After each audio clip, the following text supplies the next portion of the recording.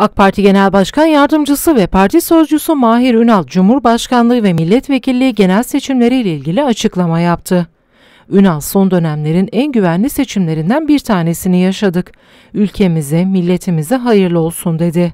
İçişleri Bakanlığımızın yaptığı açıklamaya göre e, son dönemlerin e, en e, güvenli seçimlerinden bir tanesini yaşadık. Ülkemize, milletimize hayırlı olsun. Ee, yeni yönetim sistemimiz ülkemize, milletimize e, hayırlı olsun.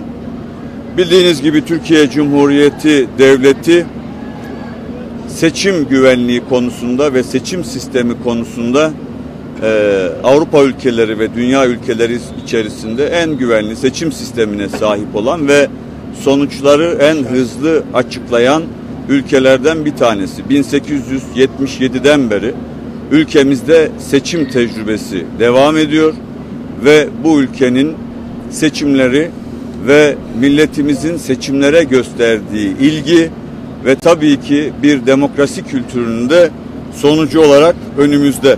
Seçimlere katılımın %87 olduğuna dikkati çeken Ünal, seçimler demokratik olgunlukla yapıldı dedi. Bildiğiniz gibi seçimler e, demokrasinin düğünüdür. Bugün 59 bin, 354 bin, 840 bin seçmen sandık başına gitti ve yüzde 87 katılım oranıyla 188 bin 80 sandıkta oylarını kullandılar. AK Parti hükümeti iktidar olmanın sorumluluğu ile davranmakta ve dolayısıyla da kullanılan tüm oylar AK Parti hükümetinin teminatı altındadır. Sadece kendi oylarımızın değil, diğer partilerin oylarının güvenliği de bizim namusumuzdur.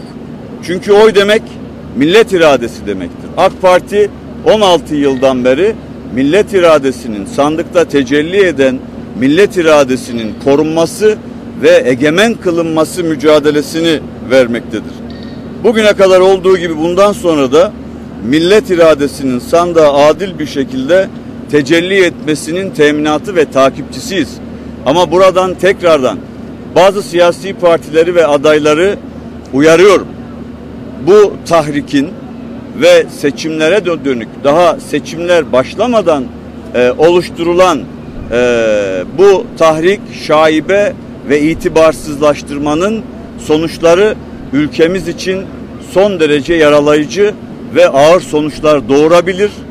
Bunları siyasi sorumluluğa davet ediyorum. Anadolu Ajansı'nın hedef gösterilmesine tepki gösteren Ünal, özellikle Anadolu Ajansı'nı milli ajansımızın hedefe konularak tehdit edilmesi kabul edilebilir bir şey değil dedi.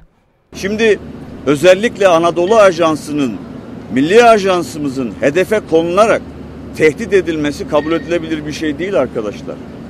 Sizler de biliyorsunuz ki sizler de muhabirsiniz. Anadolu Ajansı'nın yetkilileri sandık başkanlarından orada bulunan bütün siyasi partilerin temsilcilerinin imzaladığı ıslak imzalı tutanakları alıyor ve giriyor. Yani bu herkesin gözü önünde oluyor. Burada herhangi bir şekilde bir şaibenin olması söz konusu değilken kurumlar üzerinden Yüksek Seçim Kurulu gibi, Anadolu Ajansı gibi devletin kurumları üzerinden oluşturulan bu ağır tahrik kabul edilebilir bir şey değil.